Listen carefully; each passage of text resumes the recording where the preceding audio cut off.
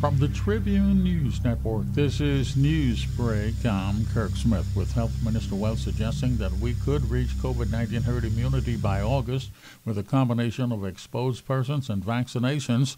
The process continues. Health officials in Long Island, Cat Island, San Salvador, and the Berry Islands today to give shots there.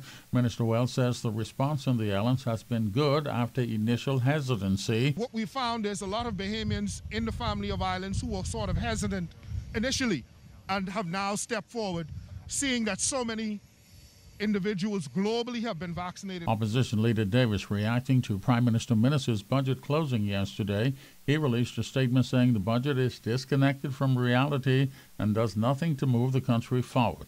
The Senate now preparing to debate the budget bills. This is Newsbreak from the Tribune News Network.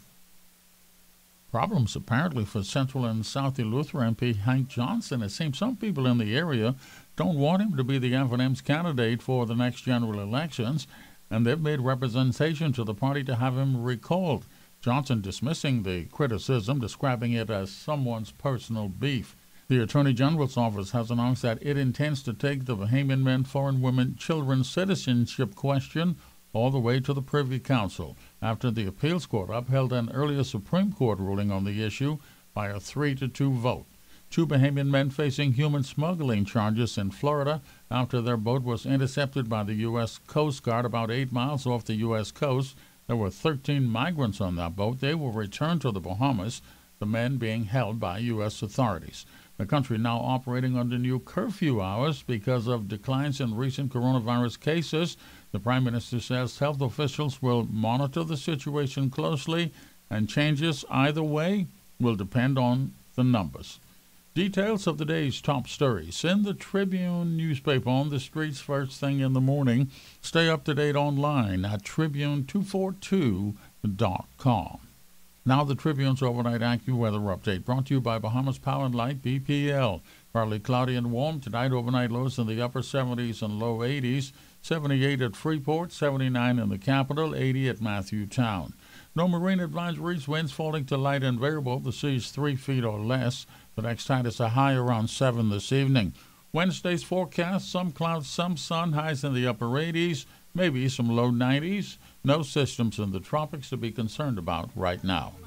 Your weather update brought to you by Bahamas Power and Light, BPL. Through all severe weather situations, they will be there by your side. This is Newsbreak from the Tribune News Network. Let the Bahamas and the world know that you're open for business by advertising in the Tribune and on Tribune242.com. Reach the market that'll get your cash registers ringing by calling 502-2394 today. Our professional advertising agents are on hand to customize packages just for you, and consultations are free. Give your business the maximum exposure for an affordable investment, and let us help you increase your sales. Call 502-2394 today. We're open for business. Let the world know you are too.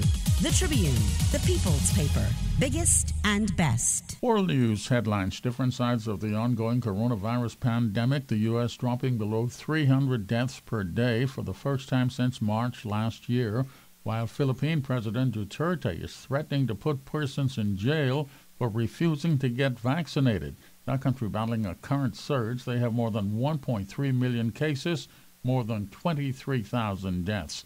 China is now accusing the U.S. of interference for donating corona vaccines to Taiwan. Sports notes now brought to you by the Tribune Sports section. On TV, there's plenty of soccer. That major international tournament continues in Europe. John Jonquel Jones continues her play for Bosnia in the Euro Basketball Championships. Major League Baseball full schedule for Tuesday. Jazz and the Marlins open a series against the Blue Jays. NBA playoffs game two tonight in Phoenix for DeAndre Ayton and the Suns against the Clippers. The Hawks and the Bucks get started tomorrow night. For all of your sports details, you want to check the Tribune Sports section.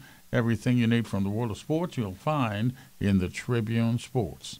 And that's your news break. Details of the day's top stories in the Tribune newspaper on the streets first thing in the morning.